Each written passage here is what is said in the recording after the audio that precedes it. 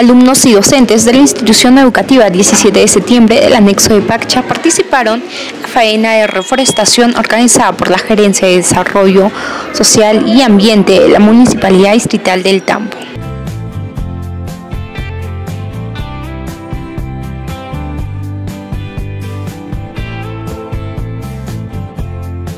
Jornada se inició a las 9 de la mañana, además de contar con la participación del área de educación y de la Casa de la Cultura del Tambo. Se logró el sembrado de 500 plantas ornamentales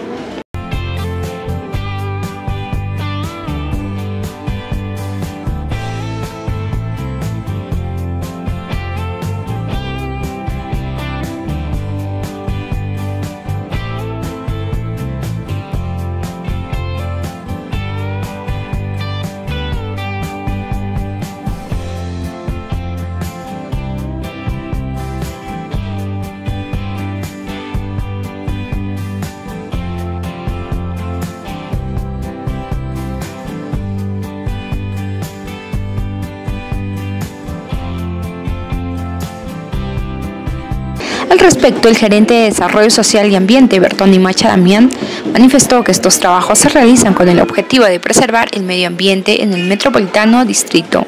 Destacó sobre todo la participación de los docentes y alumnos.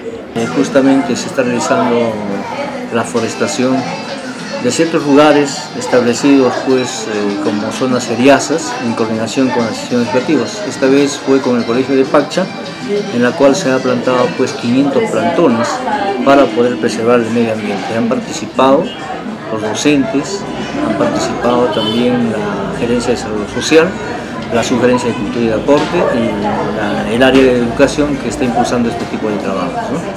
En los próximos días se continuarán con este tipo de actividades en las instituciones educativas de Hualahoyo, Culpa Alta, entre otros, indicó. Estamos planificando también realizar en Hualahoyo, estamos planificando en el Calayo, en Culpa Alta, en coordinación con los docentes, vez que ellos también están interesados en el cambio climático y de alguna manera también con un lema, ¿no? Adopta un árbol y estarás pues también preservando la vida de un ser humano.